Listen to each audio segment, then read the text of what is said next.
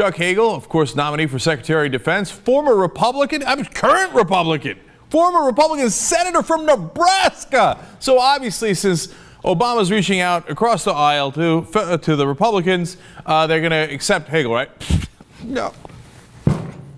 Filibuster. Okay, I want you to understand something. This is historic. This is the first ever successful filibuster of a cabinet, cabinet nominee in United States history. Never been done before. From time to time, people would, would withdraw. Sometimes people would lose in a vote. John Tower lost in a vote because he had massive personal scandals uh, that was revealed during the hearings. You know, Condoleezza Rice, they objected to her a little bit. Uh, the Democrats did, to be fair, right? Why? Because she was the top counterterrorism advisor to the president, and, uh, well, the top national security advisor to the president. And of course, we had the gigantic intelligence failures under her watch that led us into the Iraq War. But not only did she not get filibustered when she was nominated for Secretary of State, she won 85 to 13. It wasn't even close, okay? 85 to 13. And, uh, and so this, to give you a sense of how unprecedented it is. Now, look, remember that they considered reforming the filibuster early on, right? You could do it at the beginning of the Senate session. A lot of progressive senators had asked Harry Reid to do it. And of course, uh, it, all he had to do was go back to history. In 2005, Mitch McConnell had said, now the leader of the Republicans in the Senate, quote, the filibuster was not used for 200 years. The country did just fine. Of course, that was when the Republicans were in the majority and they wanted to take away the filibuster. Now, you could have just used that quote against them and you had the numbers. You could have reformed it so that at least they would have to get out there and talk it through like you see in the movies. They'd have to actually get the yellow pages and do an actual filibuster instead of just snapping their fingers and say, yeah, yeah, I filibuster that guy, move along, right? But did Harry Reid do that reform? Of course not. But after they didn't do the reform and they kept the filibuster so the Republicans would continue to have that power, Harry Reid came out and said, no, no, no, no, we're going to have comity in the Senate. We're all going to get along. Dick Durbin said, quote, uh, that is a very positive environment to start this session. It requires goodwill and good faith. So it's okay, positive environment. We're going to get goodwill and good faith from the Republicans. No, you're going to get an elbow right on top of your head the first successful filibuster of a cabinet nominee in history. So now Harry Reid wakes up and goes, God, I, wait a minute. I think we might have an issue with these guys. Hey, let me go to video eight here. And after the filibuster, he is shocked and chagrined. The Republicans have made an unfortunate choice to ratchet up the level of obstruction here in Washington.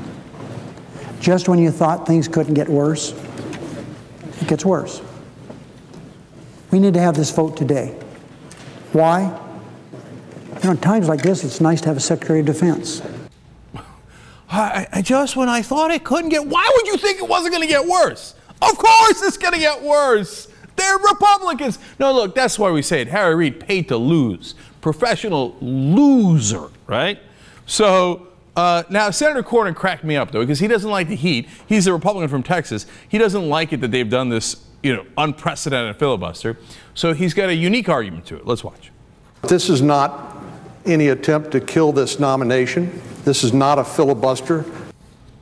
Wait a minute. It is a filibuster. It's literally a filibuster. Here, I'll show it to you. Let's go back to video seven. So now this is the vote. Now remember, in order to confirm, all you need is 50 votes. You know, they could break the tie with Biden if they needed to. 51 will do it. They got plenty, right? Here, I'll show you how the vote went down. On this vote, the yeas are 58, the nays are 40. One senator announced present. Three fifths of the senators duly chosen and sworn not having voted in the affirmative. The motion is not agreed to. We got 58 yays, like yes, we yes, no, filibuster. So you need 60. So they could not go forward. By the way, when you ask him, hey, what are you filibustering for? What's the, well, I tell you, Benghazi. Well, first of all, Chuck Hagel wasn't in the government when Benghazi happens. How is he related to this? But let's put that aside. No, the president needs to answer questions. Did he talk to the leader of Libya on September 11th when that attack happened that killed our, uh, uh, you know, our ambassador there and, and other Americans? Uh, well, the president told you yesterday. You kept demanding. First of all, Lindsey Graham's like, I demand to have Panetta in front of this committee. So Panetta comes in front of the committee. He's current Secretary of Defense. Okay. Oh, you're not good enough. I demand to have Secretary of State Hillary Clinton in front of this committee. So Hillary Clinton comes in front of the committee. I demand to ask hard questions of Chuck Hagel. So then they ask him hard questions, which, by the way, were 144 questions about Israel. Okay. But they're concerned about Benghazi. Okay, so then finally they're like, the president, who did he speak to in Libya during this? And so yesterday the White House says, okay, the president had Secretary of State Hillary Clinton call on that day, the day of the attacks, to the president of Libya, and the very next day he called. They say, oh, well, it's not good enough, it's not in writing. So this morning, they write it down and they hand it to the Senate. They go, here you go, here, now it's in writing. They're like, we're going to filibuster anyway. Okay, but it's not a filibuster.